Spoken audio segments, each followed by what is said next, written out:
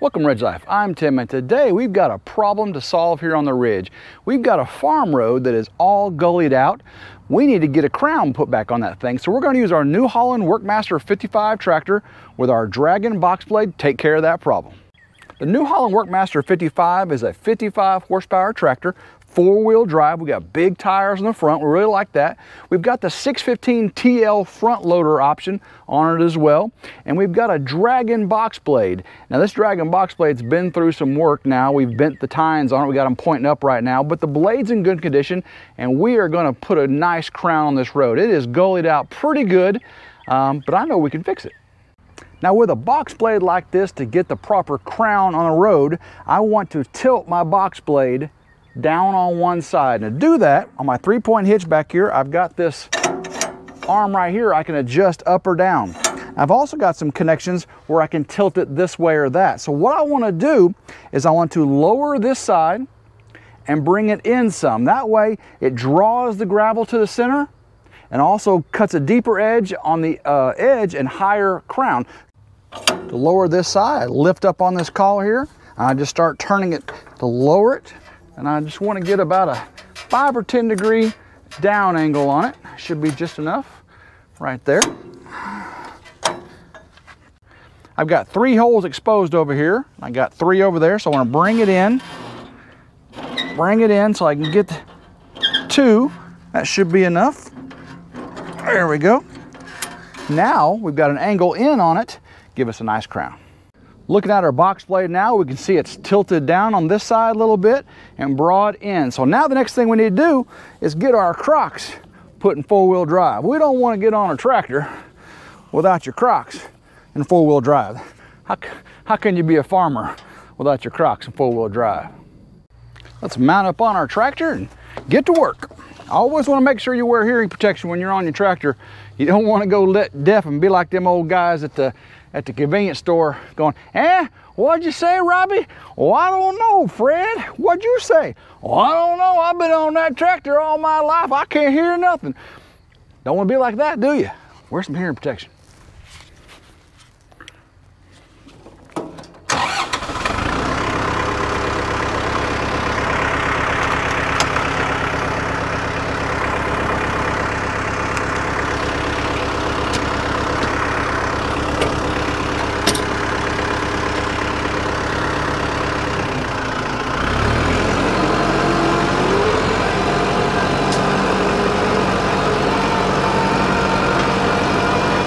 As we walk up our field road here, we can really see we are grooved out all the way up this.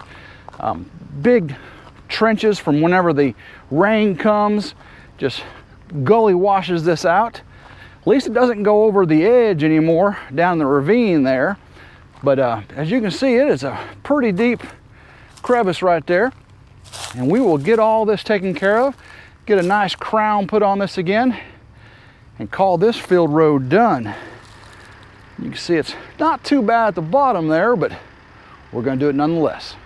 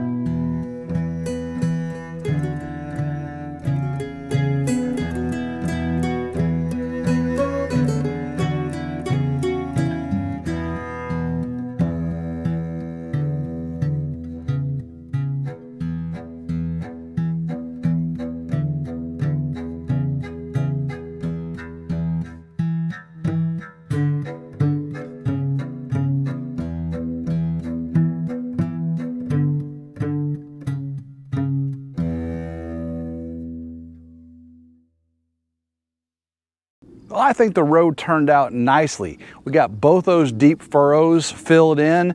We got the gravel crowned up in the middle. Uh, this is a pretty hard road to do anyway because the way it comes down and, and slopes off this pond here. But it used to overflow into the ravine over here. So now we've got a, a little uh, lip built up on both sides. Really keeps that water in the road here. Uh, and I can always just pull the gravel back up and fill it. It's better than all the gravel going out in the woods over there, which is what we used to have. So let's take a walk up here and, and see how it turned out. As we walk up, we can see both those deep furrows are gone. We're a little high in the center, which is exactly what we wanted to be. Nothing uh, overflowing into the uh, ravine over here, which is a good thing. We uh, pulled down this left side here, which was really high coming off the pond, but turned out really nicely all the way up. Just got to keep doing some uh, driving on it with the tractor and the Kubota to really harden it out. We used to have a lot of water pour over here, but now uh, we got this lip built up so it does really well. Y'all can see right through here, there's the barn over there and the pond. We love, love, love having the barn up here on the ridge and you can see it all levels back out as we go back down to the ridge house. Well, that's one more job off the list. We can take the tractor, get it up in the barn, get in the house, eat some dinner with the family, get these Crocs out of four-wheel drive mode, get them in leisure mode, and that's where I like them. If you like today's video, hit the thumbs up for it, please. Subscribe to Ridge Life if you haven't already.